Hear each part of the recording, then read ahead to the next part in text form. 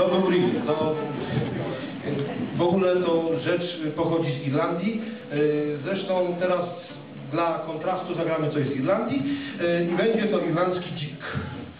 Nie mylić z Żykiem. Nie będę tłumaczył.